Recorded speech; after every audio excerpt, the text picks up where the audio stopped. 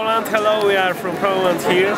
And Strasbourg is very beautiful and uh, very uh,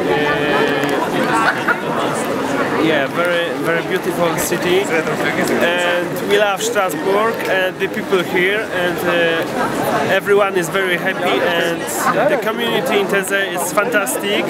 The organization is very good uh, and the food is the best of all Taizé meetings I have ever been.